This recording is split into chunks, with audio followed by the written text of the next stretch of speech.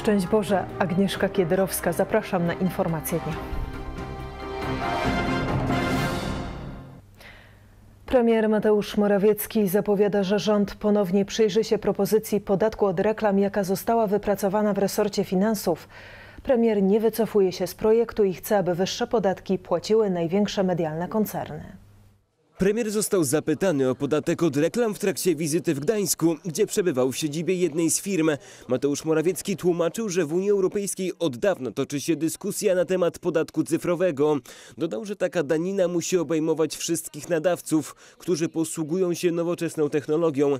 Premier zapowiedział, że projekt, jaki opracował resort finansów, nie jest zamknięty i może ulec jeszcze zmianie. Bardzo ważne jest rzeczywiście, żeby zastosować odpowiednie pułapy opłat cyfrowych, opłat za reklamy, w zależności od wielkości medium e, i e, tutaj temu się raz jeszcze na pewno przypatrzymy. Premier mówił, że medialni giganci powinni płacić większe podatki od na przykład małych lokalnych portali i gazet. Zamierzamy, żeby ten system był progresywny. Progresywny to znaczy, żeby ci, którzy najwięcej zarabiają na reklamie, żeby zapłacili więcej lub trochę więcej niż ci, którzy zarabiają mniej. Premier zwrócił się do przedstawicieli mediów lokalnych, przekonywał, że ten podatek nie uderzy w ich działalność. Dodał, że Polska sięga tutaj po rozwiązania już znane w Europie. Opozycja podtrzymuje zarzuty, że podatek od reklamy zmierza w stronę uderzenia w media nieprzychylne dla rządu. Dziś w tej sprawie odbędą się konsultacje w Sejmie, w których jedno stanowisko zajmują Koalicja Obywatelska, PSL i Lewica.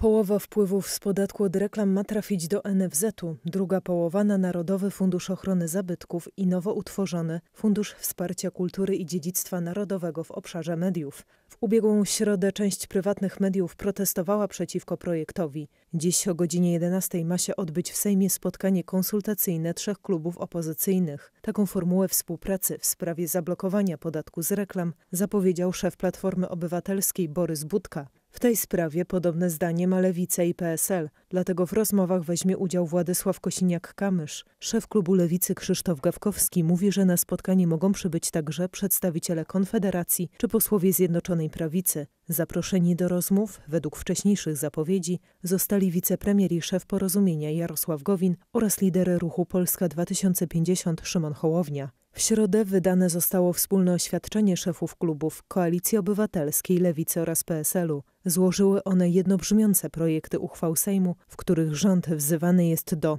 tu cytat, wycofania się z projektu ustawy o składce od wpływów reklamowych i odpartyjnienia mediów publicznych.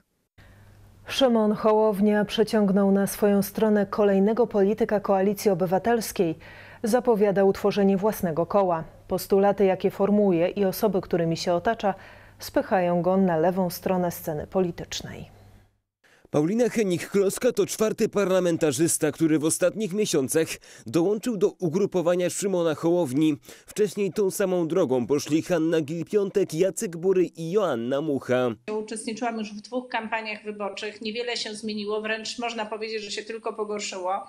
E, Mamy dzieci w wieku szkolnym, edukacja no, jest w opłakanym stanie, służba zdrowia w opłakanym stanie. O ile krytyką pod adresem PiSu ze strony Pauliny Henik-Kloskiej trudno być zaskoczonym, to w tych słowach przewija się też zarzut w stronę Koalicji Obywatelskiej o brak sprawczości. To projekt, w który przestał wierzyć kolejny polityk. Z pewnością jest to duży cios dla Platformy Obywatelskiej, która od dłuższego czasu e, no, zwiera szyki bardzo mocno, aby ten proces odpływania kolejnych posłów e, opóźnić. Szymon Hołownia osiągnął swój cel, stworzy sejmowe koło.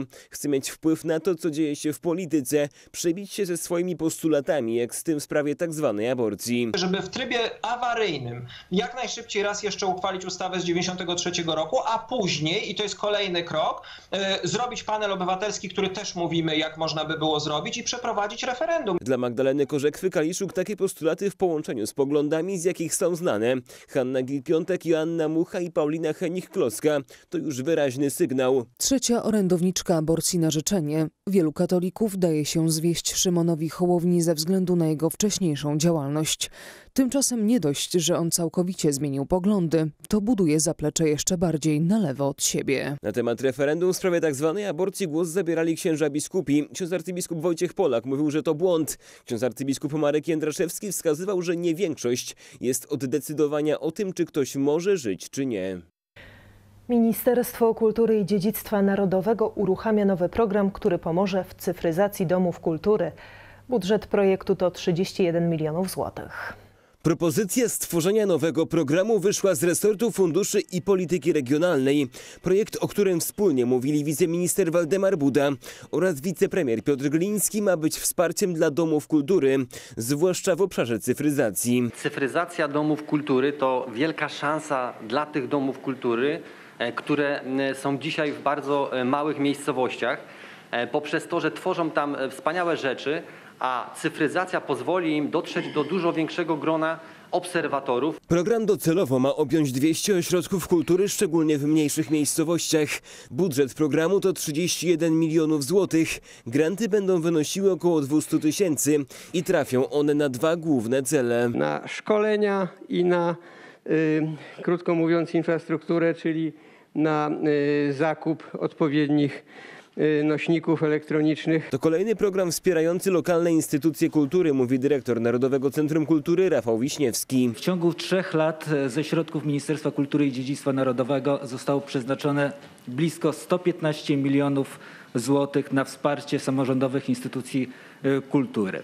E, Cieszę się, że nowy program Narodowe Centrum Kultury może realizować właśnie dla wsparcia instytucji kultury o charakterze lokalnym. Aplikacje do programu będą przyjmowane w kwietniu, a jego realizacja nastąpi w lipcu. Adam Darski-Nergal został ukarany przez sąd grzywną za profanację obrazu Matki Bożej. Musi zapłacić prawie 20 tysięcy złotych. O sprawie poinformował radny ze Szczecina Dariusz Matecki. Adam Darski, muzyk o pseudonimie Nergal, opublikował w sieci zdjęcie, w którym znieważył obraz Matki Bożej. Nadepnął na niego, co miało wprost uderzyć w osoby wierzące. W sprawie Nergala interweniował radny Solidarnej Polski ze Szczecina Dariusz Matecki. Sprawą zajął się sąd. Dziś znany jest werdykt. Został skazany na grzywnę plus e, opłacenie kosztów sądowych, łącznie e, tam ponad około 20 tysięcy złotych, więc e, pokazujemy, że osoby, które znieważają katolików, nie mogą czuć się bezkarne. Poinformował Dariusz Matecki zaraz po tym, jak odebrał na poczcie informacje w sprawie decyzji sądu. Radny Solidarnej Polski już zapowiedział, że zajmie się kolejnymi przypadkami znieważania uczuć religijnych katolików. 80 lat temu w nocy z 15 na 16 lutego miał miejsce pierwszy zrzut cichociemnych na spadochronach na teren okupowanej Polski. Z tej okazji krakowski oddział IPN-u przygotował fabularyzowany spot edukacyjny. Tobie ojczyzno cichociemni. Cichociemni byli polskimi żołnierzami ochotnikami szkolonymi w Wielkiej Brytanii z przeznaczeniem do zadań specjalnych. Działali w największej tajemnicy i pod osłoną nocy. 80 lat temu miał miejsce ich pierwszy zrzut do Polski. Skoczkowie spadochronowi zostali zrzuceni w okolicach Dębowca na Górnym Śląsku w nocy z 15 na 16 lutego.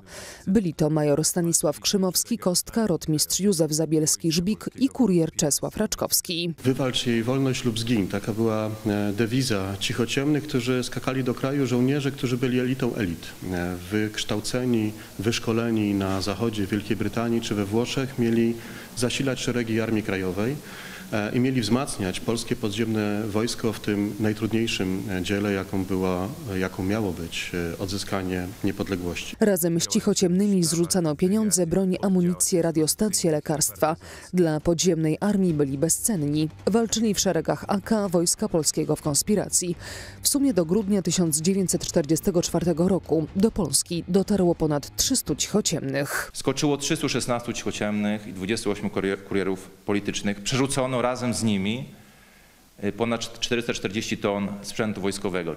Po wojnie cichociemni za swoją służbę byli represjonowani przez władze komunistyczne. Wielu zostało zamordowanych w sfingowanych procesach sądowych, inni wywiezieni do sowieckich łagrów. Z okazji 80. rocznicy pierwszego zrzutu cichociemnych do Polski krakowski IPN przygotował fabularyzowany spot edukacyjny Tobie ojczyzno cichociemni. Czy nasze poświęcenie było daremne? Nie dla medali, nie dla nagrody, lecz z miłości Tobie, Ojczyzno. Spot można oglądać między innymi na stronie internetowej kraków.ipn.gov.pl oraz w mediach społecznościowych krakowskiego IPN. W Radomiu po raz piąty odbędzie się finałowa gala Nagrody Prezydenta RP dla dobra wspólnego. Para prezydencka będzie przebywała w Zespole Szkół Muzycznych imienia Oskara Kolberga. Nagroda Prezydenta dla dobra wspólnego została ustanowiona w 2016 roku. Jest z jednej strony wyróżnieniem i uhonorowaniem osób oraz instytucji współtworzących społeczeństwo obywatelskie, a z drugiej strony ma na celu pokazanie tych osób i instytucji jako przykładu do naśladowania, mówi prezydencki minister Wojciech Kolarski. To nagroda dla ludzi, instytucji oraz nagroda za takie przedsięwzięcia, które służą innym, które pokazują, że my, oprócz naszych prywatnych spraw, mamy również pewne zobowiązanie wobec tych, którzy żyją wokół nas. Podczas uroczystości prezydent wręczy statuetki i dyplomy w czterech kategoriach: instytucja, organizacja, dzieło, przedsięwzięcie, projekt, człowiek lider oraz nagroda specjalna imienia Piotra Pawłowskiego. Przez pięć lat wśród nagrodzonych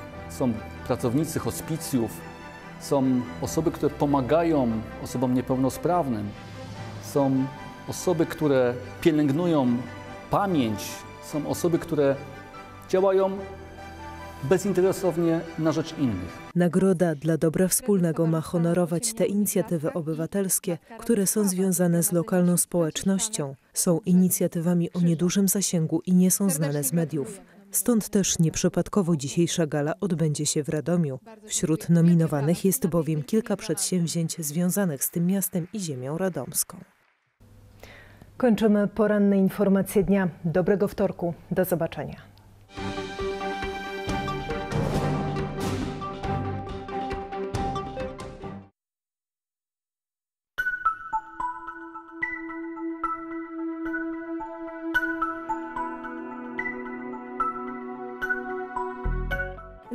Na wschód przemieszczać się będzie słabnący front atmosferyczny. Karolina Gierat, zapraszam na prognozę pogody. Śnieg popada miejscami na Pomorzu, a także w Wielkopolsce. Na wschodzie zaświeci słońce. Z biegiem dnia możliwy śnieg od Zatoki Gdańskiej aż po Małopolskę, a pod koniec dnia słabe opady pojawią się miejscami na Mazurach i na Mazowszu.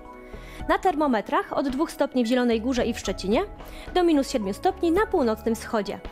Południowy wiatr powieje przeważnie z umiarkowaną prędkością, a ciśnienie atmosferyczne w Warszawie wyniesie 1017 hektopaskali. Jutro z zachodu na wschód będą pojawiać się opady śniegu. Na przeważającym obszarze kraju pojawi się odwilż. Na zachodzie kraju na Śląsku 4 stopnie powyżej zera, a na Suwalszczyźnie do minus 4 stopni.